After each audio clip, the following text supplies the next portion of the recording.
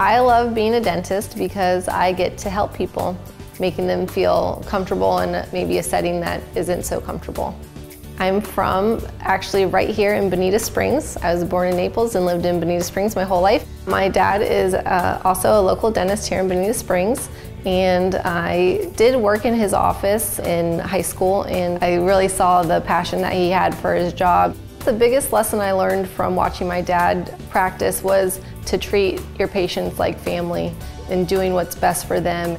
I actually wanted to be a vet for a long time, but ended up actually finding out that I was allergic to my dog and cat. So I thought probably being allergic to your patients wasn't ideal. When I was a kid, I was kind of an orthodontic nightmare. I wore braces, headgear, had a palatal expander, the whole nine yards. I actually got kneed in the mouth playing basketball in high school, so I had trauma to my front teeth while I had my braces on. So it's been a journey. I went to the University of Florida up in Gainesville, got a degree in food science and human nutrition, and then went on to dental school at the University of Florida College of Dentistry and went on and did a general residency at UCLA out in California. My philosophy I feel like is kind of a mix between the golden rule and treating patients like family.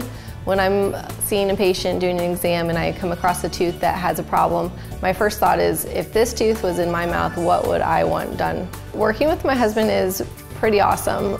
I met Rich in dental school, freshman year. We just added our baby boy, Chase, and we have a daughter who's turning two, and it's been an adventure, but so much fun.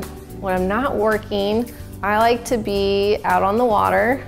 We love boating, going to the beach, diving, on the water, being out outdoors, enjoying the sunshine.